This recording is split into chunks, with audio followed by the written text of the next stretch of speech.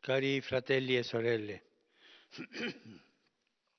nei giorni scorsi il segretario generale delle Nazioni Unite ha lanciato un appello per un cessate il, fu- il fuoco globale e immediato in tutti gli angoli del mondo, richiamando l'attuale emergenza per il Covid-19 che non conosce frontiere.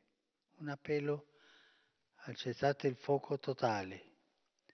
Mi associo a quanti hanno accolto questo appello e invito tutti a darvi seguito, fermando ogni forma di ostilità bellica, favorendo la creazione di corridoi per l'aiuto umanitario, l'apertura alla diplomazia, l'attenzione a chi si trova in situazioni di più grande vulnerabilità. L'impegno congiunto contro la pandemia possa portare tutti a riconoscere il nostro bisogno di rafforzare i legami fraterni come membri di unica famiglia.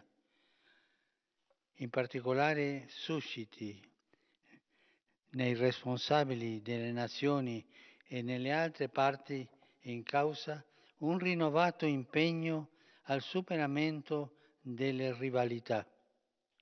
I conflitti non si risolvano attraverso la guerra. È necessario superare gli antagonismi e i contrasti mediante il dialogo e una costruttiva ricerca della pace. Angelus Domini Nunciavit Marie. Et